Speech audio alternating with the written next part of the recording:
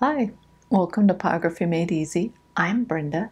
In this time lapse episode, I am going to share with you the little beggar house finch artwork that I did.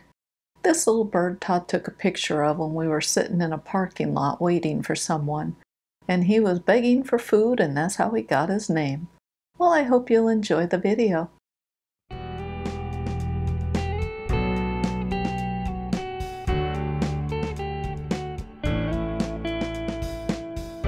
Go ahead and stare. I'm way past, I don't care. What you see is what I am. There's a price to pay when you can run away, but no one really gives a damn.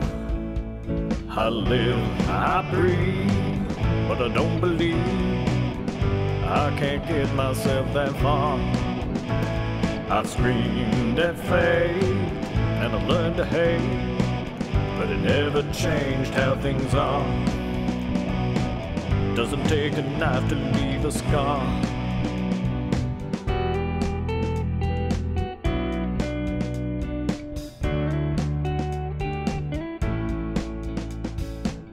All the words you said, they're still inside my head, and they just won't let me be. No matter what I do, can't get away from you. You're forever haunting me. I live, I breathe, but I don't believe I can't get myself that far. I've screamed at fate and I've learned to hate, but it never changed how things are.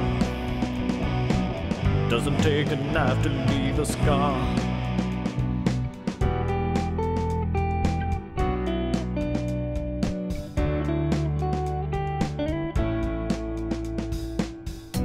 When you look at me, there's nothing to see. Everything is on the inside. Doesn't mean they aren't there. Those scars you left your share. It's just myself I try to hide.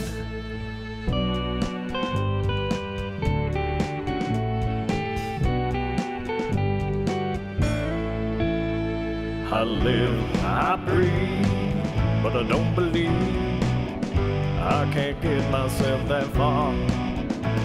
I've screamed at fate and I've learned to hate, but it never changed how things are. Doesn't take a knife to leave a scar.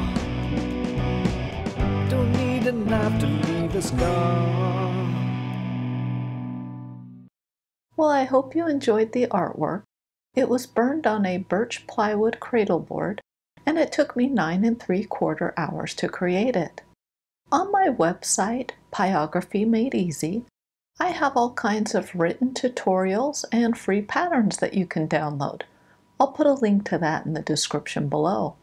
Well, thank you for watching my video, and I will see you next week.